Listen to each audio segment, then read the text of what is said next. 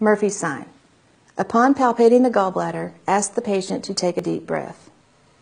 If the patient experiences pain and a halt in inspiration, that indicates a positive sign and could indicate inflammation of the gallbladder.